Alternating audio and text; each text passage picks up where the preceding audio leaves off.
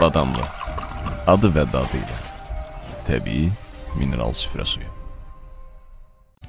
Hörmətli izləyicilər, xəbərə keçməzdən əvvəl videonu son dərəcə bəyənmənizi xahiş edirik. Son günlər Azərbaycanda benzinin və dizelin bahalaşması sosial şəbəkələrdə böyük müzakirələrə yol açıb.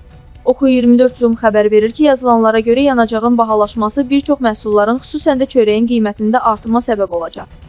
Çünki yanacağın bahalaşması birbaşa olmasa da dolayı yolla sahibkarların əlavə xərci düşməsinə səbəb olur.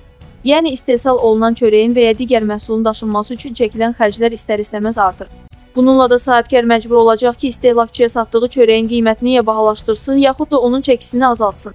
Çörəyin çəkisinin azalması da dolayı yolla məhsulun qiymətinin artırılması deməkdir. Qeyd edək ki, çörək strateji məhsul olduğu üçün dövlət nəzarətindədir. Lakin onun qiyməti Tarif Şurası tərəfindən tənzimlənmir. Bəs ölkədə nəzarətdə olan məhsul və xidmətlərdən hansı bahalaşacaq? Suala cavab öyrənmək üçün Tarif Şurası ilə əlaqə saxladıq. Qurumdan Bakıya isə bildirildi ki, Tarif Şurası tərəfindən tənzimlənən məhsul və xidmətlərin qiymətində bahalaşma nəzərdə tutulmayıb. Bu barədə hələlik müzakirə aparılmır deyə qurumdan bildirildi.